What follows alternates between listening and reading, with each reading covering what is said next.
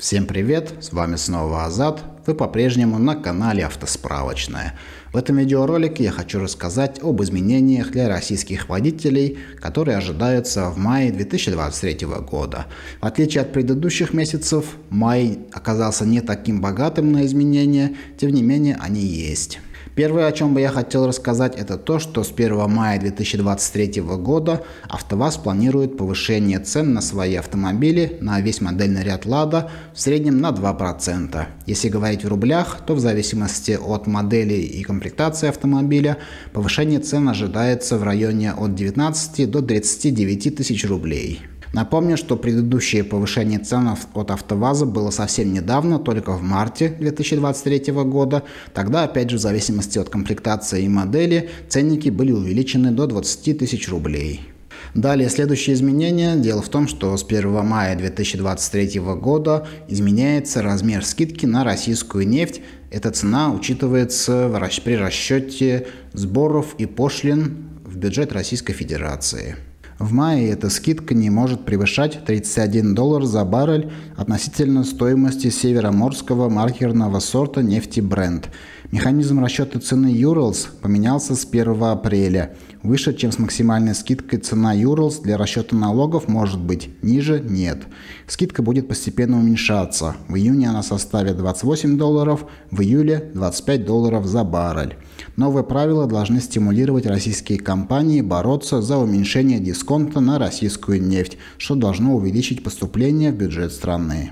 Я напомню, что речь здесь идет о так называемом топливном демпфере, который вводился для того, чтобы в зависимости от текущей цены на нефть стабилизировать стоимость бензина и дизельного топлива на заправках, то есть рознице.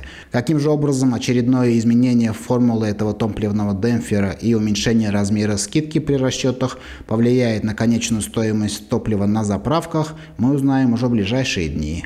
А если вы хотите получать кэшбэк в размере 10% за каждую заправку своего автомобиля, то по ссылке в описании под этим видео вы можете заказать себе кредитную карту Тинькофф Драйв.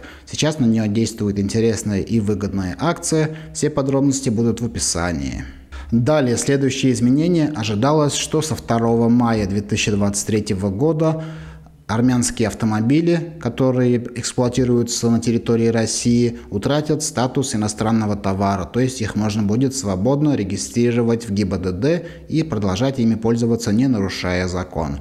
Однако, как пояснили еще в феврале 2023 года, на самом деле это изменение произошло не в мае, а раньше, с 1 января 2023 года.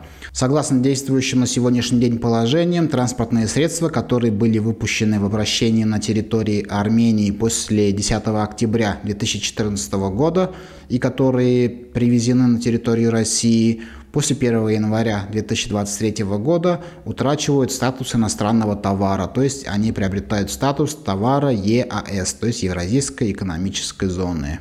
Таким образом, со стороны таможни на эти транспортные средства перестает действовать ограничение на их регистрацию в ГИБДД. Единственное, для того, чтобы их поставить на учет на гражданина России, необходимо будет оплатить утилизбор. Но здесь опять же есть исключение. Исключением является отдельный перечень из 339 автомобилей, которые сохраняли статус иностранных товаров до 2 мая 2025 года. В отношении этих транспортных средств сохраняются действующие ограничения по их ввозу и использованию на территории России. Файл с перечнем этих автомобилей вы можете скачать у меня на сайте. Ссылку на материал я оставлю под этим видеороликом.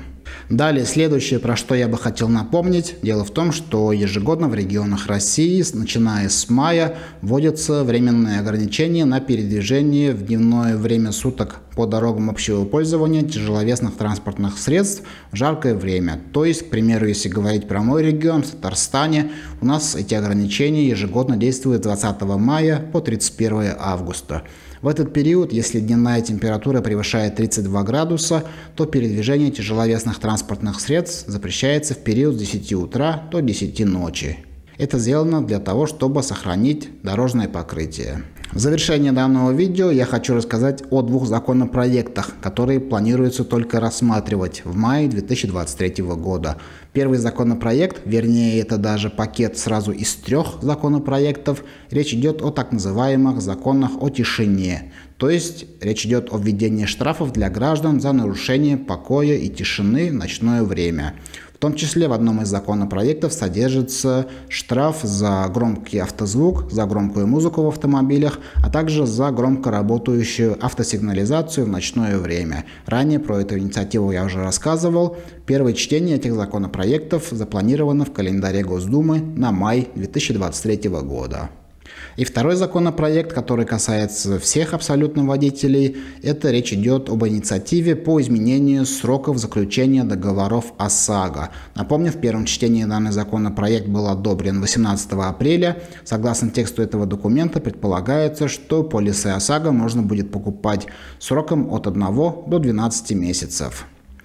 До 17 мая 2023 года к документу принимаются замечания, предложения и поправки. После 17 мая должно состояться уже второе чтение доработанного документа. А если вы хотите выгодно приобрести либо продлить полис ОСАГО, вы можете воспользоваться полезной ссылкой в описании под этим видео. Там у вас появится возможность сравнить актуальные цены именно для вас и вашего автомобиля от большинства крупных страховых компаний России. Вот такая вот информация. Надеюсь, видео было для вас полезным, интересным. Спасибо, что досмотрели его до конца. Что вы думаете по поводу этих поправок и инициатив? Своим мнением вы, как обычно, можете поделиться в комментариях под этим видео. Желаю всем безопасных дорог и всем удачи!